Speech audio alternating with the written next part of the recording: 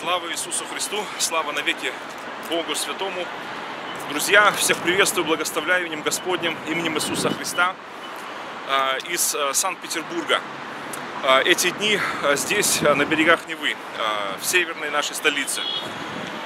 И здесь как раз предпраздничные, и праздничные, и предпраздничные дни – и, конечно, если брать праздничные дни, то это а, Шивот, Пятидесятница, праздник Пятидесятница, который а, в традиции православной называется Троицей.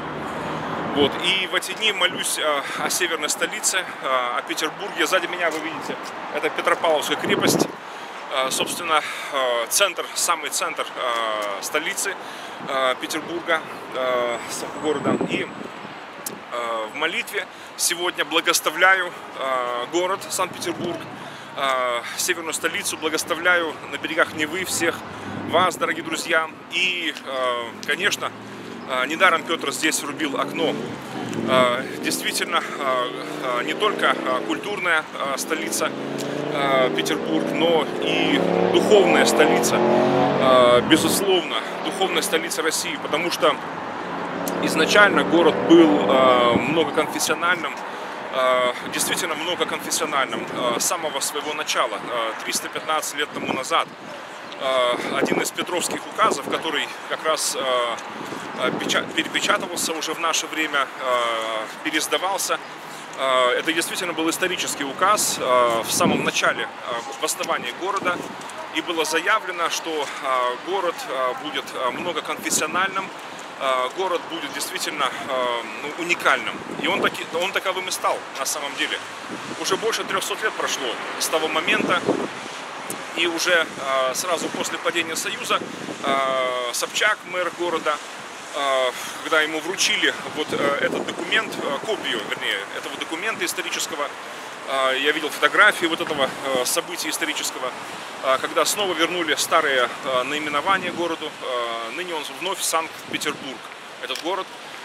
И не только само название вернулось старое, но и, знаете ли, вот это понимание, что это действительно духовная столица России.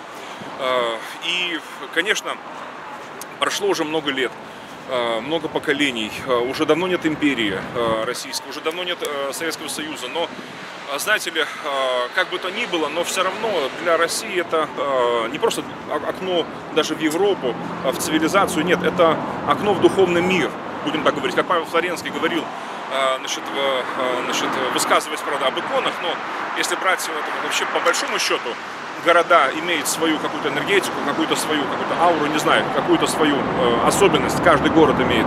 И вот э, Санкт-Петербург, он имеет э, свою такую харизму, э, какую-то свою энергетику, свою особенность. И это действительно э, столица, э, действительно столица э, духовная.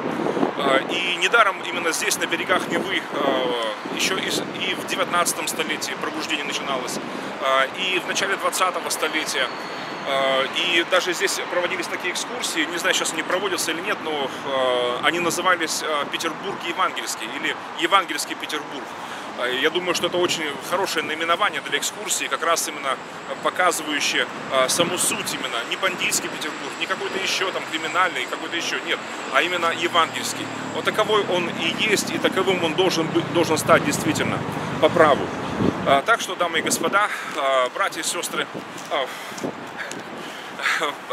и э, с берегов Невы э, всех вас приветствую, как говорится, паки-паки, снова и снова. И благоставляю. И также призываю вас к молитве за нашу северную столицу, о духовном пробуждении я. Благоставляю вас священническим благословением сегодняшним днем. Да благословит тебя Господь и сохранит тебя. Да призрит на тебя Господь светлым лицом своим и помилует тебя. Да обратит Господь лицо свое на тебя и даст тебе мир во имя Иисуса Христа. Аминь. Из города Санкт-Петербурга а, Божьей милостью архиепископ Сергей Журавлев, Реформаторская православная церковь, Христа Спасителя. Мир всем вам. Слава Богу. Так что молитесь, друзья. Вот я, пользуясь случаем, хочу показать еще здесь красоты Питера. Это Нева, сзади видите Исаакиевский собор. Кстати, сняли коробку. Да, это уже такие заметки путевые.